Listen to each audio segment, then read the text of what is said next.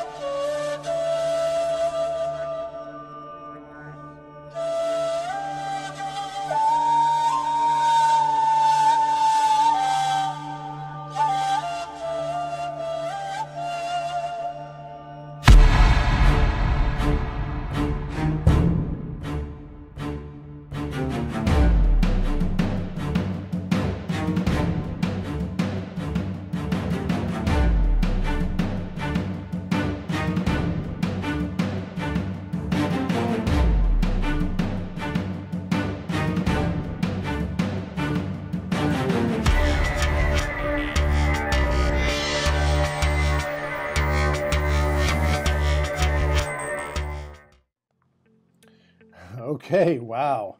Well, that's quite an introduction. Thanks, Matt. Hello, everybody, and thank you for joining us today.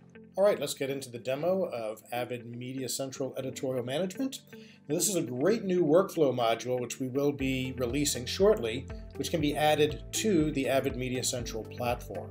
So you have your NEXIS, you have a server, and the server will now be able to index and look at all of the media across your entire NEXIS uh, storage system uh, so you'll have access to projects and media, being able to actually see frames, being able to search by metadata across all of your projects uh, within Media Composer, but also in a web browser. So this is all dependent on the role that you have in your facility. So let's start out looking at the heart of MediaCentral editorial management, which is Avid NEXIS. So this is the new flashless UI, which is great because it can run on a desktop, laptop, or even a mobile device. We'll see you have your, your dashboard, which shows you connectivity with who's connected, certain bandwidth and performance. Uh, you can go in and see your installers. So your users, you basically set up and you give permissions to who can and can't see certain workspaces. And again, this is the basis of MediaCentral editorial management. So we take a look at uh, my settings. These are the read and write access that I have to certain workspaces. You also see your workspaces here If you want to go in and do any sort of the dynamic reallocation of workspace size, you still have the ability to do it in the new uh, UI. But as you know, Avid NEXIS just works. It's an amazing uh, piece of hardware and a great product for us. So let's go into uh, first taking a look at Media Composer and how MediaCentral editorial management will work here. Now, one thing you'll notice is when you go into launching Media Composer besides your projects is you do get a little window down here, little selection to open up to log into MediaCentral. So I'll go ahead and log in using my credentials. And again, this is the exact same credentials that you use with NEXIS. You'll see I now have access. And I'm going to go into the I Can Cook project right here and open that up. So you have all of the standard tools. You have everything you have within Media Composer, all of your bins, all of the tools. Uh, but the real great new addition here with MediaCentral Editorial Management is when you go to the Tools menu, you'll see there is an option to select MediaCentral Editorial Management. And this opens up another panel inside of the editor, which gives me access across, again, my entire NEXIS storage system with the workspaces that I have available to me. So you see, these are my NEXIS workspaces right here. And just to show you, if I go to the NEXIS Client Manager, you'll see that audio, cooking, webisode, those are all the exact same workspaces that you see right here. So this is very familiar to anybody who's used to using Avid NEXIS and having access to their workspaces. But nice thing here is I can go into a project. This is an Avid project. We'll look at I Can Cook and take a look at the iconography here. You'll see you have your bins look like bins, and you also have your bin locking that you have with NEXIS. This is fantastic. So if I want to go ahead and take a look at some uh, media here, let's go ahead and open up the cooking. This is Avid Media. I'm seeing a frame that's available to me, so I can easily go in and take a clip, drag it up here, and have access to it. Take one of these here. It's also showing me in the bin where that is. But the real power here is I can go ahead and look at media in another project. Let's go to the nature project, because let's say the, uh, as we're talking about cooking, we may want to look at a certain region that maybe the cuisine that we're using is coming from or maybe we're doing seafood and want to have some, you know, fish shots. So again, some nice tools here where I can now go in and drag this clip up into my project or double click and it brings in that clip, opens up the bin that it came from, and now you'll see even the NEXIS bin is loaded into my project here. So a great tool to just browse across your assets and your projects using MediaCentral Editorial Management. So the first app you see across the top here is Browse. I'm just browsing through my projects to see what I may want to be adding uh, or searching for. Now, searching is another app. You'll see the search app right next to browse here. In the first version of MediaCentral Editorial Management, you have browsing and search capabilities, and the searching is really powerful. You'll see on the left side here you have a little histogram, so if you want a span of time that you're trying to search, you can see the results currently up in the window, say 2,111 assets. If I choose a certain date range, it filters out to 1,245 across that range which I've selected here. So you'll see again when I turn that off, I have 2,111 assets that it's searching for. You can also see it breaks it down by creation date, last hour, last 24 hours, last week, last year. We'll see modified date, you'll see duration ranges if you're trying to find something for a certain duration and how many assets that equals. So again, some really nice ways to go in and search for media. But what's really cool is you can also search for metadata. Let's say I have um, some other interview shots. I have Doc Krotzer I want to look for, so we'll search for Doc. It searches and filters out. There's 50 shots of Doc right here. Uh, but I actually want to find just the wide shots. So let me go ahead and add another filter of wide, and it's showing me now all of the wide shots. So there's 15 of those that I can bring in to my project. All right. So some really nice control there. But what's also nice is we can search by markers. If you have markers that are set on your media, anywhere across your project, we are doing a cooking show, so I want to find shots where maybe it was marked with garlic. So we type in the word garlic. It found two shots there. Simply drag that in, and we'll see we're right at the garlic marker from that clip. And you'll see if I go to my markers window, those are all of the markers that I could search for. Again, any markers that you have set up. So being able to, inside of Media Composer, browse and search across your assets, really there's a lot of power there to be able to uh, add that to your workflow. Just a little side note here, in version 1, we have the panel available inside of Media Composer, but in a future version, we will also have this panel available inside of Adobe Premiere. That's right. So uh, we've shown this inside of Media Composer, but the real power here is going to also be using it depending on what your role is in a web browser. So let me go ahead to MediaCentral. You'll see if I log out, I'm just going to go ahead and log back in using the exact same credentials that would log into my NEXIS and also into editorial management. And again, you'll see I have my NEXIS workspaces down the left-hand side here. I can open those up, look at projects. We'll go into I Can Cook and take a look at the cooking bin. Again, you'll see the iconography is exactly the same. And this is just in the web browser.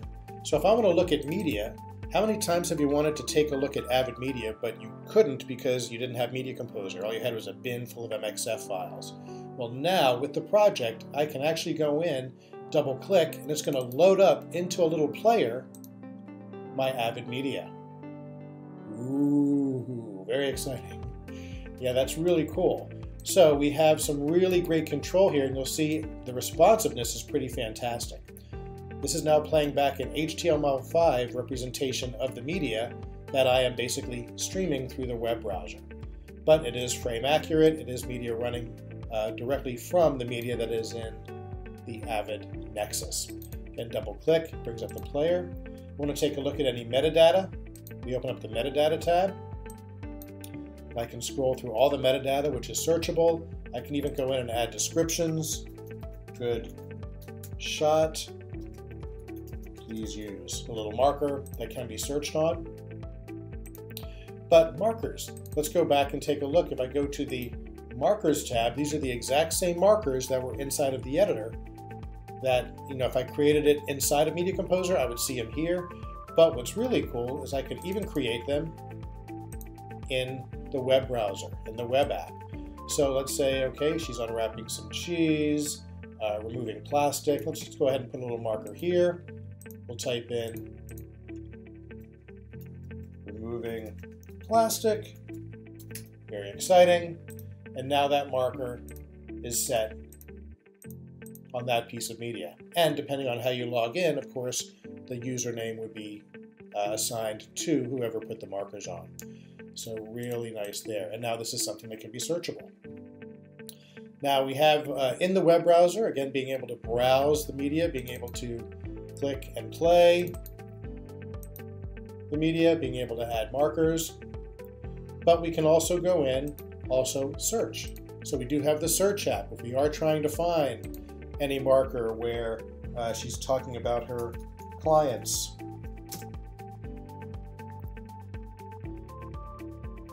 I double click and it brings up any of those markers. Here she is talking about her corporate clients.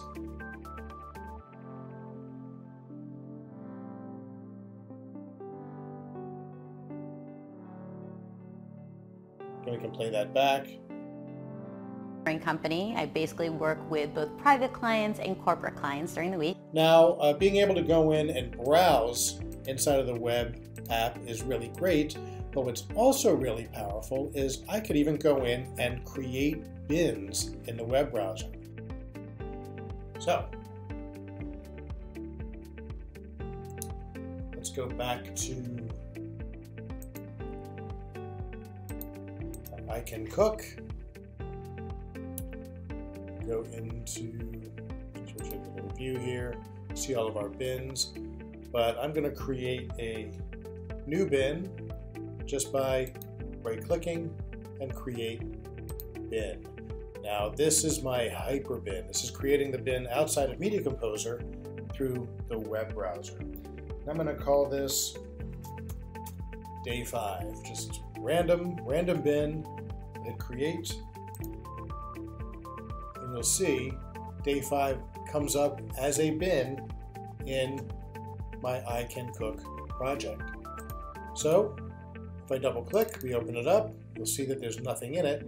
So I actually want to introduce media to it. Introduce Avid Media, introduce linked media. So let's go to search. I want to search for, uh, let's say, garlic. Could be anything in the naming, could be a marker. And I'm going to use the docking feature by taking the Browse app and dropping it down here. And now with day 5 open, we see that in the breadcrumbs, I can simply take a clip of media from the garlic search, drag and drop it over here, and it's now going to introduce that clip into the day 5 bin through the web browser. This is the power of the Hyperbin. Let's say you want to go in and find where she was talking about the clients. Any shots there. We'll search through all the media, take one of these, and we'll drag and drop it over here. And it drops that clip in. We'll do one more. So again, simply in the web browser, dragging and dropping clips from search and browse into the bin. But the cool thing is, I'm outside of Media Composer. Once I go into Media Composer, you'll see that day 5 populates as a bin right here. I double click, and those three clips that I introduced in the web app of MediaCentral is now available to me right here in Media Composer.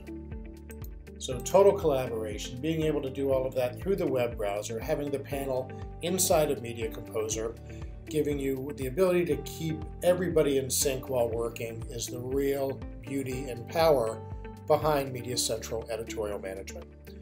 So great. Uh, quick little demo, little overview, and uh, I think we have